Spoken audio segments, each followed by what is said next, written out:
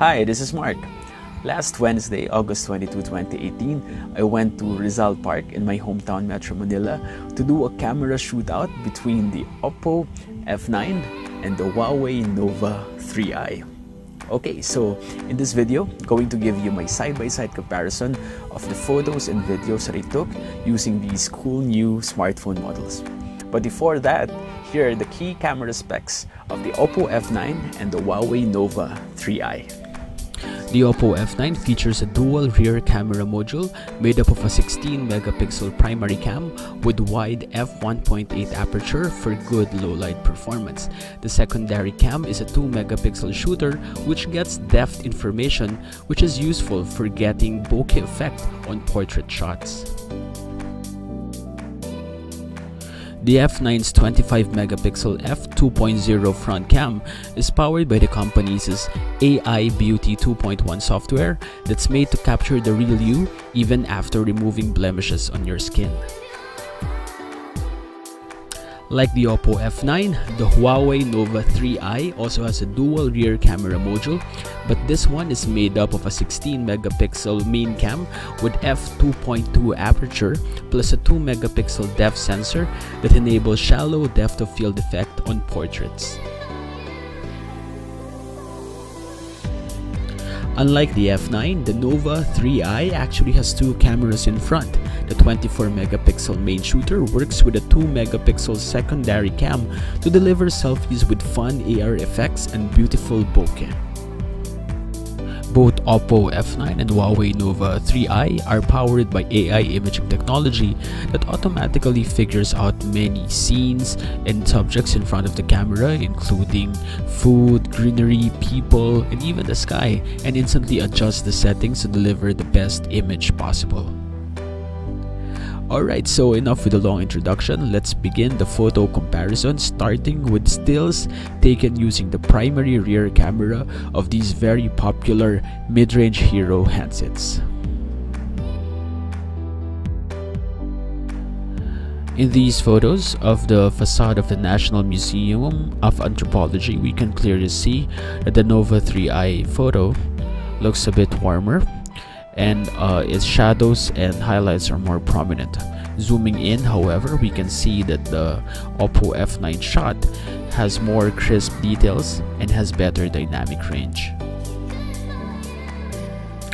In these macro shots of flowers and leaves, interestingly enough, the Oppo F9 delivered the warmer photo that leans more towards yellow, while the Nova 3i shot looks cooler as it leans more towards blue. I think each phone's AI software chose these tones to highlight the beauty in the flower, but in terms of clarity, both images are just about the same. The grasses look greener and the overall shot looks brighter in the Huawei Nova 3i outdoor shot. When we zoom in though, again, details appear more defined in the Oppo F9 photo. In this set, you can clearly see the difference in the tone of each photo.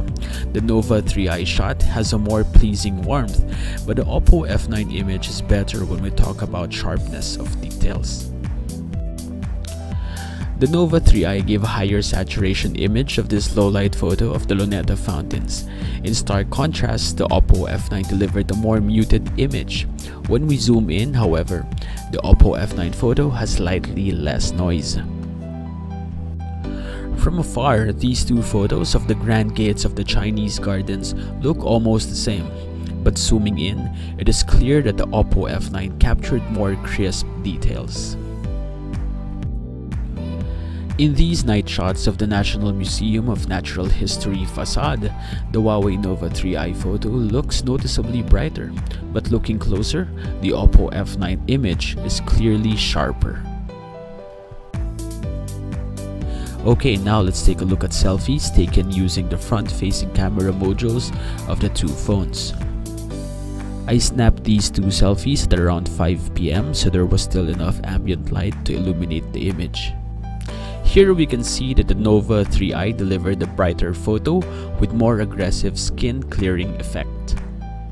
On the other hand, the Oppo F9 selfie looks slightly more realistic to me.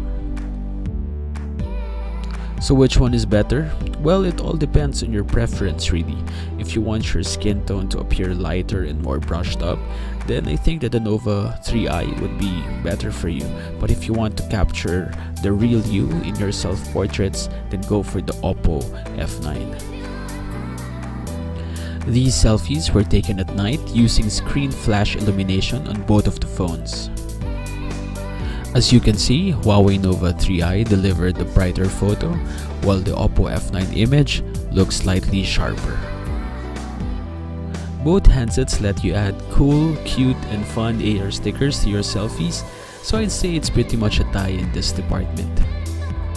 One clear edge that the Huawei Nova 3i has though is its AR lens section that lets you add graphic background effects to your selfie videos.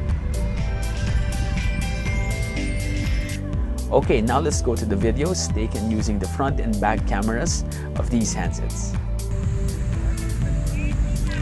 The main camera at the back of both Oppo F9 and Huawei Nova 3i can shoot full HD 1080p 30 frames per second videos.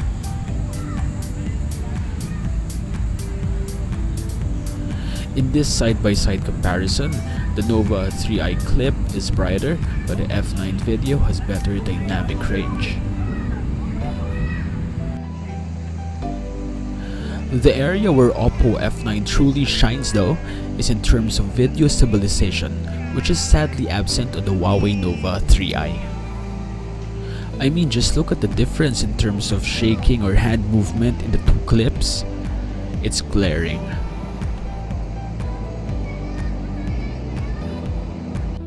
Alright, now let's do a vlog style front facing camera video comparison.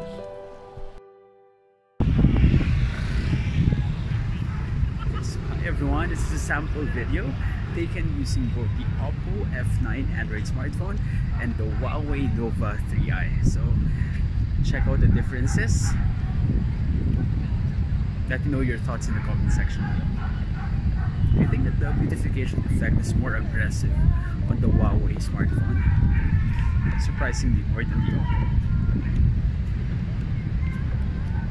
The Oppo one looks more realistic in a way that you can see my uh, blemishes, the blemishes on my face. Overall, I think that the Huawei video is brighter. So if you want a more realistic video, go for the Oppo F9. But if you want a more cleaned up look, especially for your skin, go for the Huawei smartphone. Huawei Nova 3i. Okay, there you have it. Hi everyone, this is a sample video taken using both the Oppo F9 Android smartphone and the Huawei Nova 3i. So check out the differences let me know your thoughts in the comment section below. I think that the beautification effect is more aggressive on the Huawei smartphone. Surprisingly more than the Oppo. The Oppo one looks more realistic in a way that you can see my blemishes, the blemishes on my face. But overall, I think that the Huawei video is brighter. So if you want a more realistic video, go for the Oppo F9. But if you want a more cleaned up look, especially for your skin, go for the Huawei smartphone. Huawei Nova 3i. There you have it.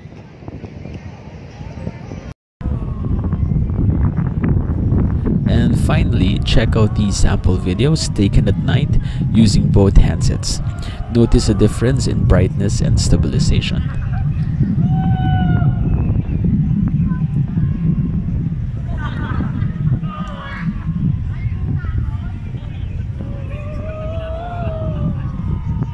Oh, and if you're wondering, that's a student choir rehearsing in front of the National Museum of Natural History.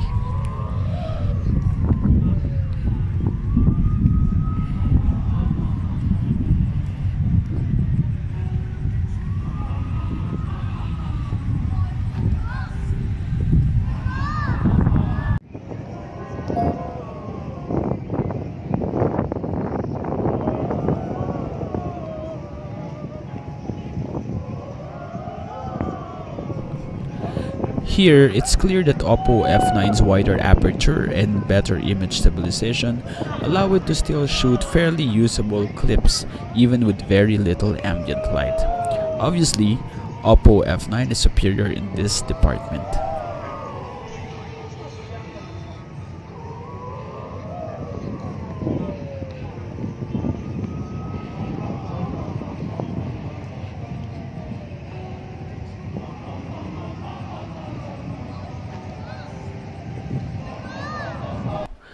To wrap up, let me summarize the most notable imaging characteristics of these two mid-range camera phones based on my observation. In most scenarios, Huawei Nova 3i tends to deliver photos with high color saturation. As for selfies, the shots often undergo aggressive skin lightening and clearing. And finally, the AR lens section of the camera app is super fun and quite relaxing to use. So what do I like about the Oppo F9 as a camera phone? Well, it performs well in low light, has stellar video stabilization, and captures the real you in selfies even after beautification. Alright, so which camera phone do you prefer, the Oppo F9 or the Huawei Nova 3i? Let me know your thoughts in the comment section below. And if you found this video useful, don't forget to like and to subscribe to our channel. Thank you.